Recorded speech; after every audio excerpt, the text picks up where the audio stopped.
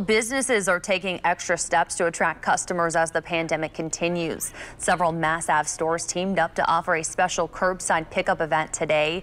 Online shoppers could pick up their items in the Art Bank parking lot this afternoon without ever leaving their cars.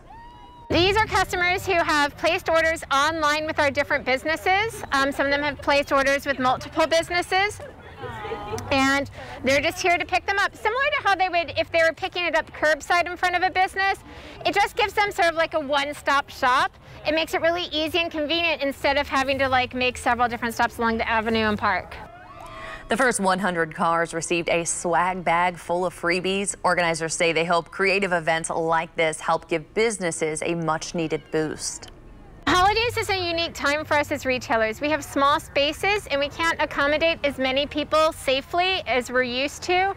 And so we really had to find creative ways of encouraging people to shop online more. So this is just one of those creative ideas um, we came up with.